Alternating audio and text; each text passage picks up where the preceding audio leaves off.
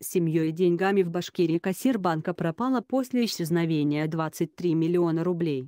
28 мая 2019, 2057. Анатолий Караваев. Полиция Башкирии объявила в розыск кассира банка, которую подозревают в хищении около 23 миллионов рублей.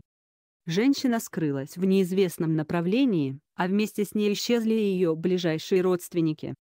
Куда могла отправиться сотрудница Россельхозбанка с семьей, которая до этого вела в маленьком городке Салават вполне обычную жизнь, пока неизвестно.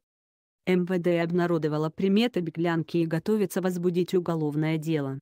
В Башкирии бесследно исчезла кассир Россельхозбанка, которая перед этим похитила на работе около 23 миллионов рублей. Вместе с ней пропала и ее семья. Полиция опубликовала приметы и фотографии у женщины, объявив ее в розыск. Инцидент произошел в понедельник, 27 мая, в небольшом городе Салават. Старший кассир местного отделения Россельхозбанка 36-летняя Луиза Хайрулина отпросилась пораньше с работы, а спустя некоторое время выяснилось, что вместе с ней исчезла крупная сумма в евро, рублях и долларах. Общий ущерб составил порядка 23 миллионов рублей. Деньги, как выяснилось, женщина вынесла в одной объемной сумке. Полицейские отправились к ней домой, однако там не обнаружили ни ее самой, ни ближайших родственников.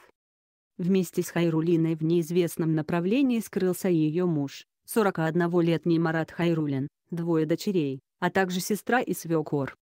Сообщается, что исчез и семейный красавер, Renault Duster. Впрочем, уехали Хайрулины на нем или нет, пока не ясно. Машину объявили в розыск. В полиции Башкирии информацию о крупной краже смогли прокомментировать СМИ только во вторник днем. В ведомстве подтвердили факт хищения и объявления в розыск предполагаемой похитительницы. МВД республики разыскивает Хайрулину Луизу Рамилевну, 1983 года рождения, подозреваемую в хищении денежных средств на сумму более 20 миллионов рублей из банковской кассы в Г. Салавате. В настоящее время по заявлению представителей банка идет процессуальная проверка, по результатам которой будет принято решение о возбуждении уголовного дела, говорится в сообщении ведомства. На сайте республиканского МВД опубликована фотография и приметы кассира, а также телефоны полицейских подразделений, куда можно сообщить информацию о женщине. При этом о ее родных ничего не сказано. В пресс-службе ведомства во вторник вечером RT рассказали, что не могут сообщить никакой дополнительной информации, помимо той, что была опубликована в пресс-релизе.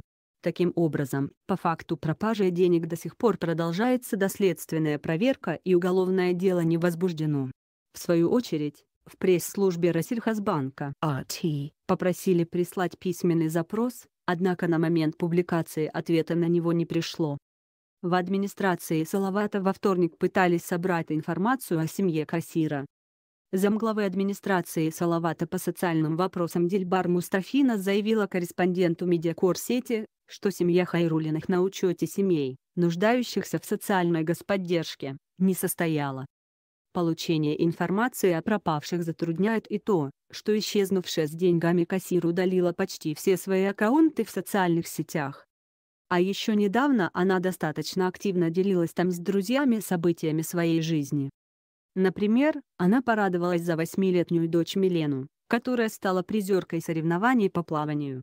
RT Удалось ознакомиться с одним из аккаунтов Луизы Хайрулиной, который она не удалила, вероятно, из-за того, что потеряла к нему доступ. Последний раз женщина заходила в него 1 марта. Там сообщается, что Хайрулина окончила школу номер 23 в Салавате, куда до настоящего момента ходили и ее дети. После школы она отучилась в местном индустриальном колледже, а затем в Башкирском госуниверситете. Сразу после окончания вуза, летом 2006 года, она начала работать старшим кассиром в банке и с тех пор, если верить указанной информации, место работы не меняла. Жила Хайрулина в доме 38 по улице Бекетова. Примечательно, что в графе «Живу сейчас» она также указала Курган. Также не исключено, что Хайрулина могла направиться в сторону находящегося относительно недалеко Казахстана. За последнее время это не первое дело, связанное с преступлениями, совершенными банковскими кассирами. Также в мае нынешнего года во Владивостоке прокуратура утвердила обвинительное заключение в отношении кассира одного из городских банков, которая украла из учреждения несколько десятков миллионов рублей. В процессе исполнения своих должностных обязанностей, в которые входила в том числе и загрузка денежных средств в кассеты для банкоматов, фигурантка умышленно не докладывала часть денег, присваивая их себе, сообщили в надзорном ведомстве. По версии следствия, старший кассир, имевший стаж работы свыше 10 лет, в общей сложности похитила более 28 миллионов рублей. Незаконные действия были выявлены службой собственной безопасности банка.